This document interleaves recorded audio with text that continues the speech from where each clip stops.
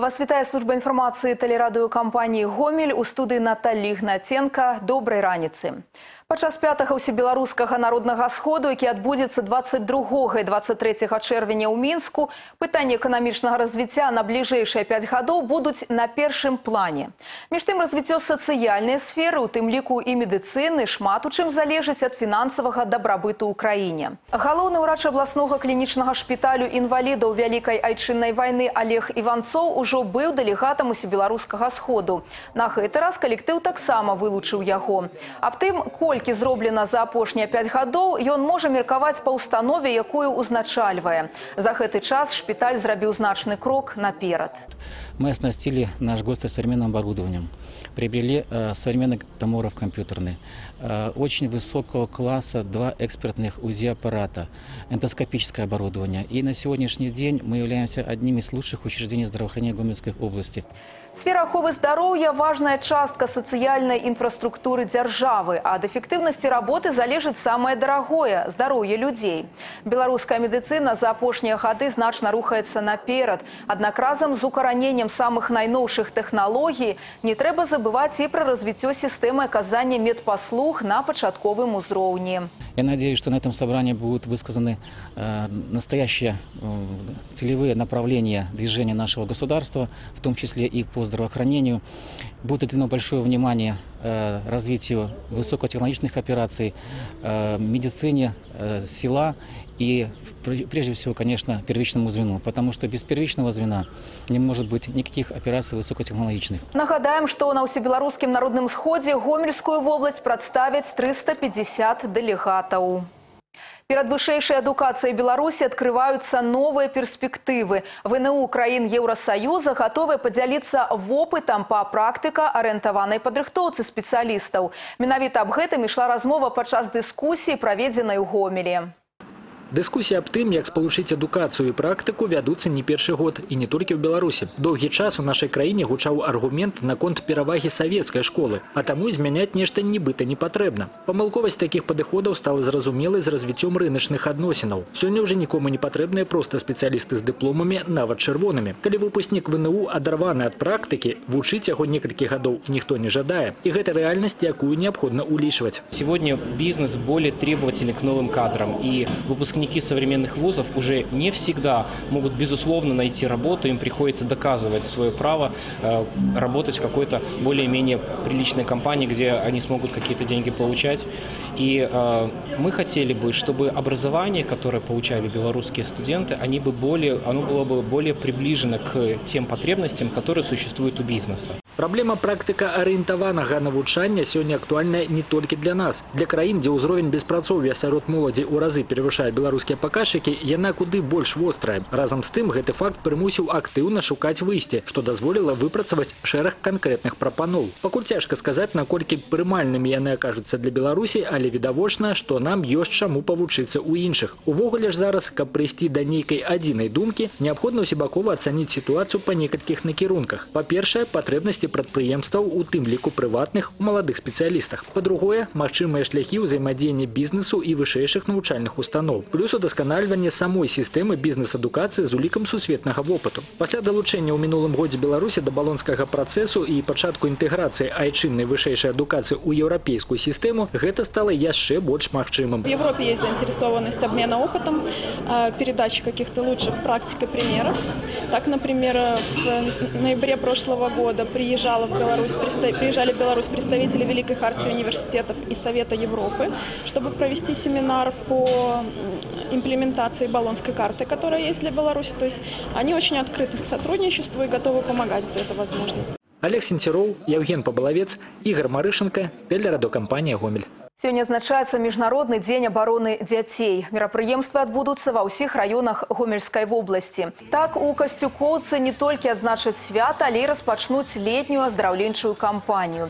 На стадыёне фізкультурна-аздраўленчага цэнтра будуць працаваць спартыўныя і гульнявыя пляцоўкі, адбудуцца майстар-класы, выставы дзіцячай творчасці. Падчас святочнага канцэрту, які адбудзецца ў палацы культуры касцюкоўка, перад гледачамі выступяць юныя артысты. Дарэчы, у Гомелі адбылося прафілактычнае мерапрыемства па правілах бяспекі жыццядзейнасці. Яно было праведзена супрацоўнікамі Міністэрства па надзвычайных сітуацыях Рэспублікі Беларусь у рамках рэспубліканскай акцыі «Не пакідайце дзяцей адных». Далучыліся да мерапрыемства таксама прадстаўнікі Дзяржаўнага камітэта судовых экспертыз Рэспублікі Беларусь па Гомельскай вобласці. Падрабязнасці ў нашым наступным сюжэце. Наступілі доўгачаканыя летнія канікулы, а гэта значыць, што зараз самы час яшчэ раз нагадаць дзецям о правілах пажарнай і асабістай бяспекі. Міністэрства па надзвычайных сітуацыях Рэспублікі Беларусь ініцыіравала рэспубліканскую акцыю «Не пакідайце дзяцей адных». Яе галоўная мэта – праз цікавыя сустрэчы, гульні і конкурсы расказаць дзецям пра небяспеку, якую могуць несці ў сабе агонь і вада, а таксама пра тое, чым могуць абярнуцца дзіцячыя свавольствы. Бацькам і грамадскасці ў сваю чаргу нагадаць, чаго можа каштаваць імгнення, калі пакінуць дзяцей без нагляду. Самая простая э, вещь – это не оставлять детей без присмотра. Э, По большому счету нету никакой разницы, остается ребенок на полтора часа один или на 10 минут. Э, Были случаи, когда мама оставляет ребенка одного, выходит во двор на 10 минут, чтобы повесить белье, и происходит пожар, какая-то другая беда. Э, Есть э, э, случаи, и они, к сожалению, нередки, когда дети выпадают из окон.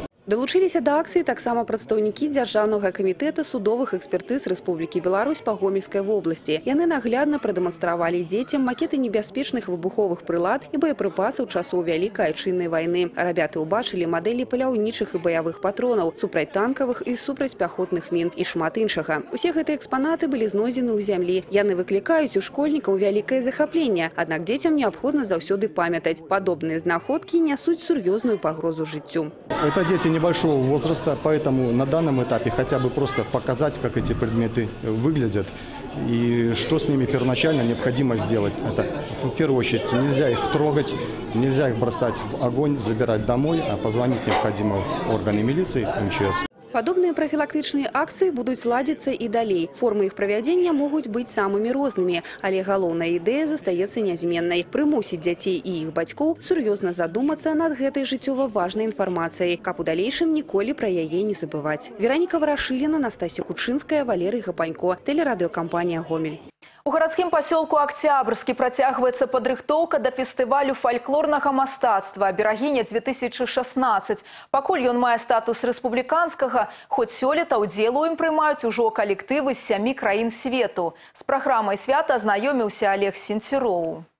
Упершыню фестываль «Берагиня» прошел ў 1998 годзе. Сёлета ён ужо дзявяты па ліку. Гэта унікальны фестываль, які з мерапрыемства раённага маштабу пераўтварыўся ў важную падзею культурнага жыцця Беларусі. У гэтым годзе сярод удзельнікаў аўтэнтычныя гурты з нашай краіны, а таксама самабытныя выканаўца з Сербіі, Чэхіі, Польшчы, Расіі, Літвы і Украіны. Усяго ў святочных выступленнях сёлета прымуць удзел пошак 900 самадзейных артыстаў. Узорны дзіцячы калектыў рудабельскія зорачкі, нязменны ўдзельнік берагіні. У У апошні час состав праўда значна змяніўся, але тут усё роўна спадзяюцца на добрае выступленне. Урэшце атрыманыя раней узнагароды абавязваюць. Лаўрэат гран-пры, диплом камісіі Рэспублікі Беларусь па справам ЮНЕСКА.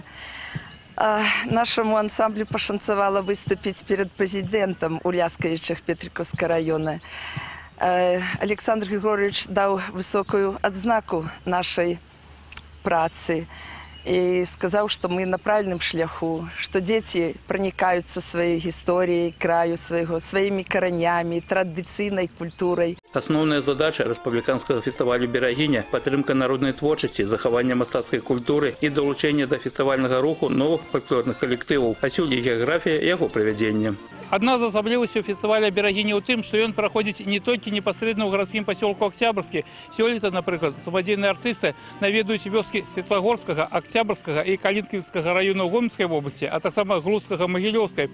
Прычым разам з беларускімі на сцэну выйдуць і замежныя калектывы. У гэтым годзе фестываль мастацтва берагіня пройдзе з 23 па 26 чэрвеня пры падтрымцы міністэрства культуры Беларусі і гомельскага абавыканкама, а таксама пад патранатам ЮНЕСКА у праграме свята майстар майстар-класы по народных спевах и танцах, круглый стол на конт развіцця ў Беларусі фольклорнага руху і нават рыцарскія спаборніцтвы. Але самае галоўнае ўсё ж такі выступленні калектываў. Для того, каб трапіць на фестываль, ім, дарэчы, прыйшлося прайсці дастаткова строгі адбор. Делаем свой в районе отбор, области производят свои э, какие-то зональные отборочные туры. И, конечно, при э, приглашении зарубежных коллективов мы смотрим то, чтобы коллектив, конечно, соответствовал основным направлениям, жанру фестиваля. Олег Сентюров, Евген Макеенко, телерадиокомпания «Гомель», Октябрьский район.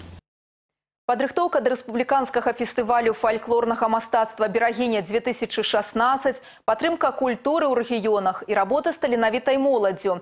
Аб гэтымі не толькі сёння пойдзе размова ў праграме «Дыялог».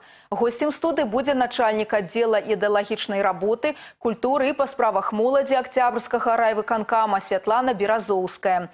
Праграма выйдзе ў эфір адначасова на тэлеканалах «Беларусь-3» і «Беларусь-4» у 18 гадзін 45 хвілін. Свае пытанні вы можаце задаць, патэлефанаваўшы па нумары прамога эфіру ў Гомелі 77 68 45.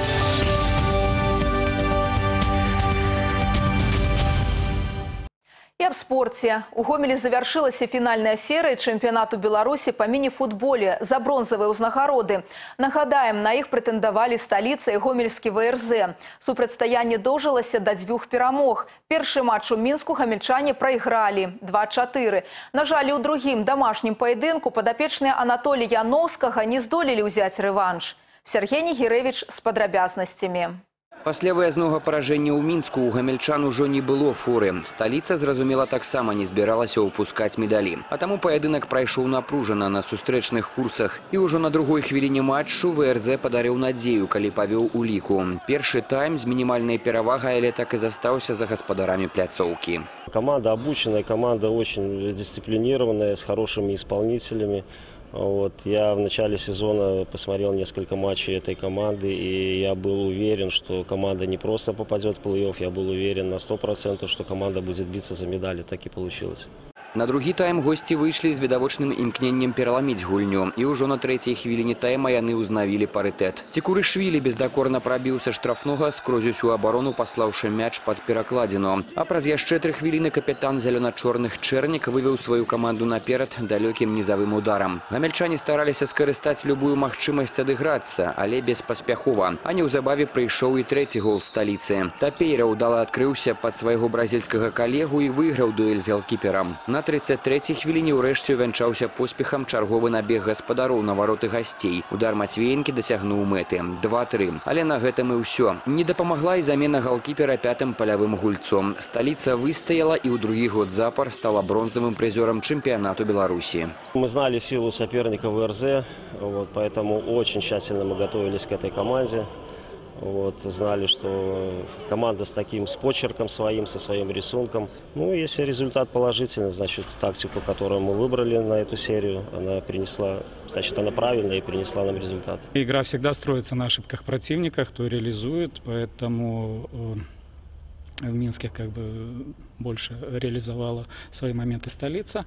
Здесь, считаю, уступили в Гомеле при равной игре абсолютно. Эм, создали моментов, ну, как минимум, не меньше, а может и больше. Единственное, реализуют, надо забивать. Из этого всего по чуть-чуть и складывается результат. Но, тем не менее, я считаю, мы в этом сезоне достойно представили вагоностроительный э, завод Гомельский э, в этом чемпионате. Тут цяжка не згадзіцца. Каманда, якая ўсяго другі год гуляе ў вышэйшай лізе, навязала сур'ёзную барацьбу лідарам беларускага міні-футбола і нават ледзь не заваявала медалі. Верыцца, што ўзнагароды для ВРЗ толькі пытанне часу. Што ж тычыцца чэмпіёнскага тытулу, яго лёс можа вырашыцца ўжо ў чацвер у лідзе. Мясцовы лід Сельмаш зараз вядзе ў серыі серыі да трох перамог са сталічным мапідам з лікам 2-0. Сергей Нігерэвіч, Максім Славін, тэлерадыёкампанія «Гомель». І на гэтым ранішні інфармацыйны выпуск тэлерадыёкампаніі «Гомель» завершаны. У студыі працавала Наталья Ігнаценка. Я і мае калегі жадаем вам удалага дня. Да новых сустрэч у эфіры.